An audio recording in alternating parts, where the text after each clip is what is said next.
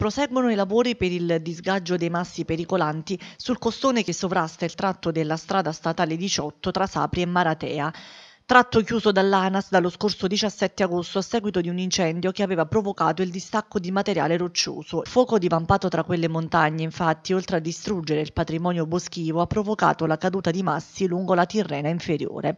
Dopo le primissime ispezioni tecniche sul posto, il genio civile di Salerno aveva accertato lo stato di pericolosità dei luoghi e successivamente l'amministrazione comunale di Sapri ha avviato per competenza i lavori di somma urgenza per la messa in sicurezza del costone con l'ausilio di rocciatori che stanno lavorando da ieri senza sosta. Il termine dei lavori previsto è per giovedì 8 ottobre. La sicurezza dei fruitori della strada, dicono dal comune di Sapri, è la cosa più importante e prima della riconsegna occorre setacciare palmo a palmo le aree interessate, circa 30 ettari, per individuare tutte le rocce che in seguito all'incendio hanno perso qualsiasi appiglio. Dopodiché ANAS effettuerà gli interventi per riparare il piano viabile e sostituire le barriere danneggiati dalla caduta dei massi. Si consentirà in tal modo la riapertura al traffico in piena sicurezza.